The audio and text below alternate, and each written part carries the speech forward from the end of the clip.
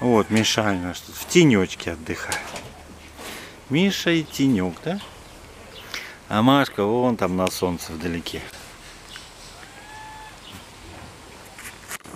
Да, мой хороший, да. Жарко.